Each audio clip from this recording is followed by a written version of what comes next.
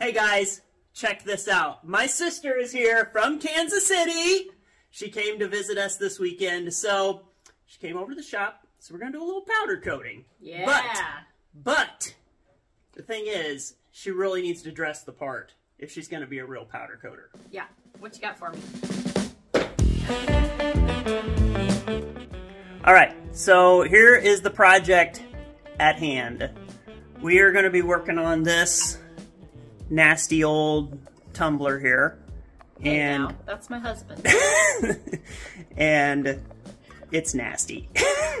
so we're going to fix it up, get it coated, make it look cool. All so, right. Here we go. How's it going there? That looks pretty Um, good. You know, I've applied a few lip butter labels. It feels a lot like that. I'm not a real good lip butter labeler. Amy actually has a super cool business that she operates. So it's called the Soap Challenge Club, and they do a bunch of different things with Cold process soap. soap, cold process soap. And do you want to say just a little bit about what you do with the Soap Challenge Club? Yeah, so we have soap makers from all over the world who join us. Each month we do a different technique and try to do the best job that they can. They enter their soaps to win prizes from our sponsors and everybody learns something along the way. So it's really fun. Explain this process to me. What are we doing? All right, so the reason we're putting this vinyl tape on here is so that we can media blast it. And when we media blast it, we're just going to, we just want to make sure that we don't get media blasting around the edge of that cup. Okay, so it won't blast the tape off? No.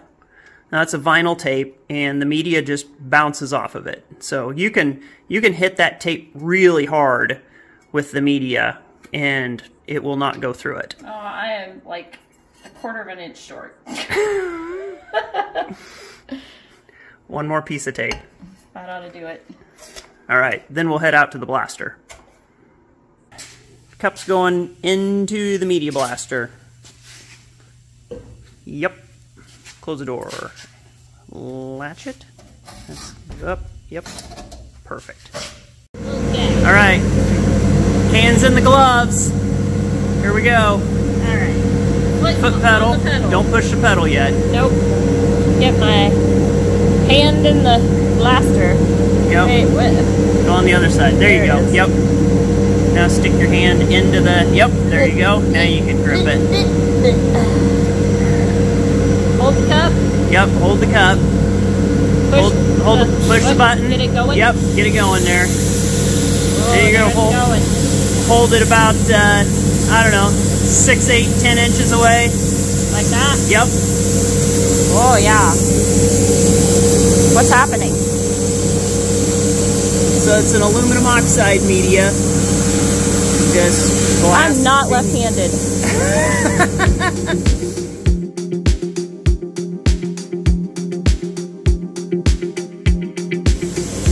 All right. How do you think you're doing? Well, I think I'm good. Yeah. I think. Got all the shiny spots. I think. All right. I think it looks pretty good. Okay, good. All right. So let off the pedal. Yep. There you go. It'll take a little while for that thing to bleed down. This one I can do right-handed. Oh yes.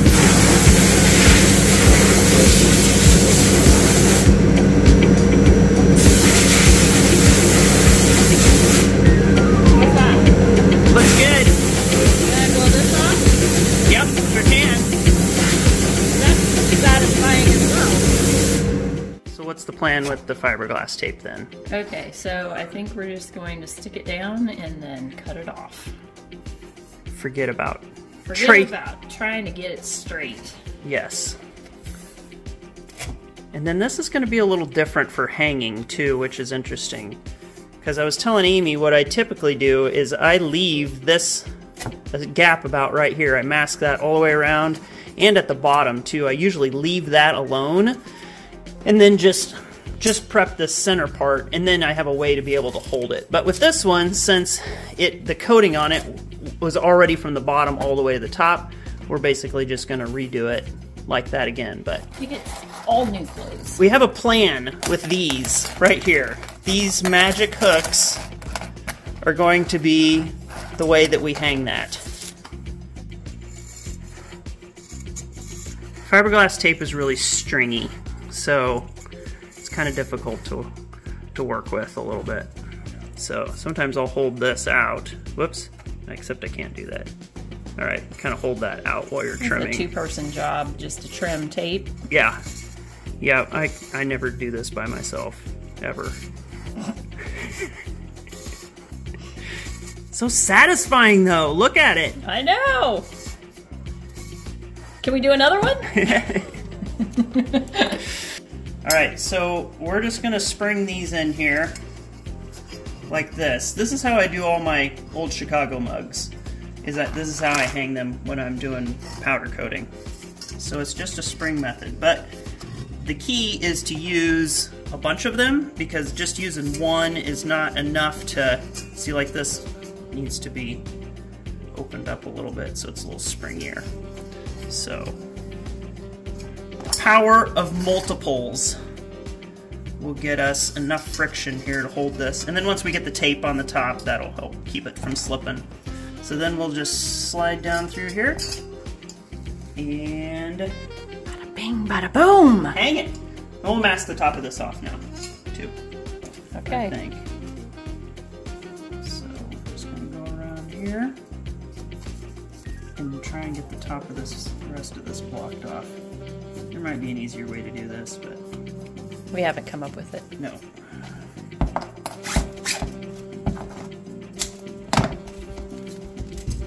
And we'll just, the more tape the merrier. You got enough tape? I have closets full of tape. Wow. That's something I don't use with soap. No tape. Only to tape the liner of my mold, which most people use a silicone mold and don't do a paper liner, so I'm old school. Uh, old school. I am too. I actually I learned quite a bit of stuff from You know why we're old school? because we're old. Bingo! I learn a lot of stuff from guys on Instagram, watching them do stuff. Yeah. So, okay, spin. this works. This looks a little haphazard. I am a professional.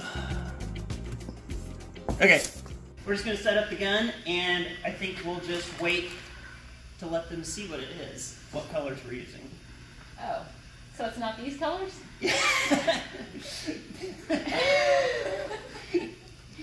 Yes, but they don't know. This this is a yeah.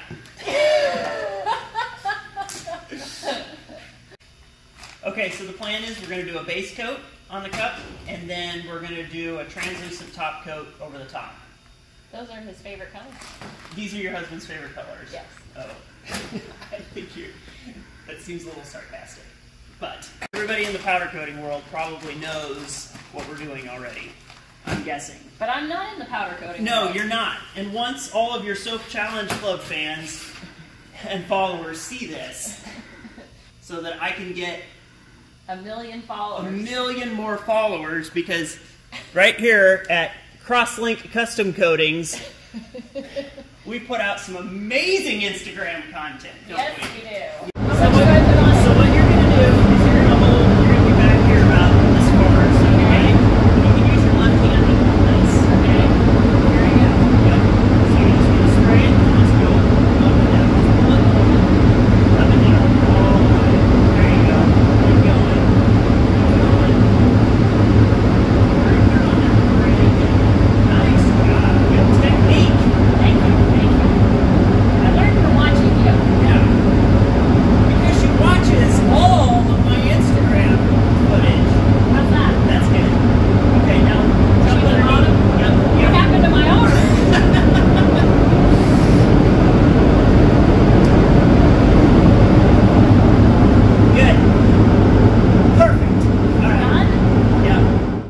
to the oven we go.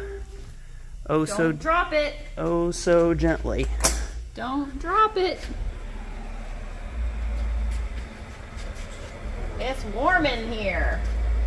Ba-ding. All right, close her up. It's almost time for the big reveal. Ay, ay, ay, ay, ay. All right, open it up. We'll just take a quick peek. Ooh.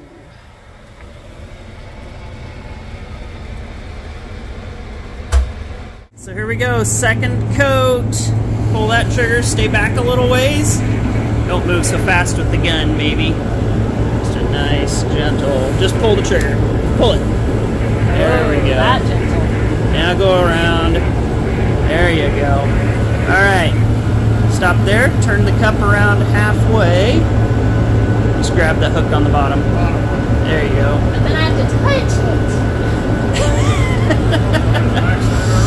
Yep. Look at that.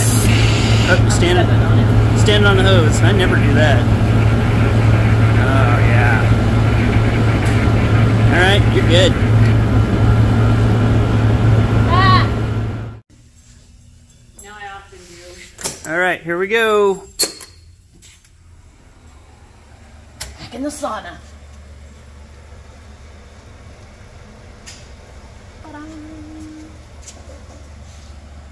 Close her up.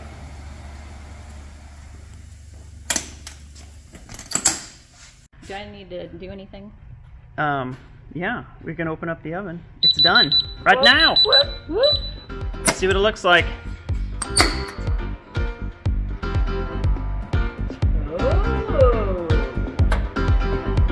Think? shiny. Alright, we'll pull it out, let it cool off, and then uh, take a look. Is it done? It's so pretty. Cooled down? Yes. Obviously, I'm touching it. Yes. Look at that color. Alright, let's get it unmasked. Cool. Just start start peeling. Start ripping it off. Yep. And then you could be careful Pull pulling the little springies out of there because they'll They'll pop out and hit you in the eye. yeah.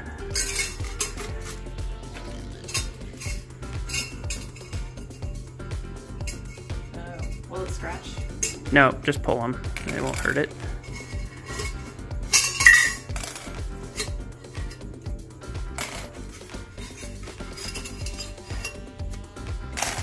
That's it. All right. This looks like it'll take a little more effort to get it off. What happens if it leaves some behind? You have a method for that? There is a trick.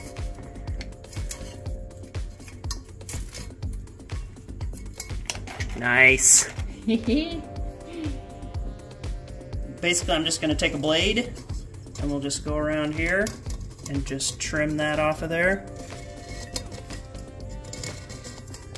I'm just going to clean up that tape line.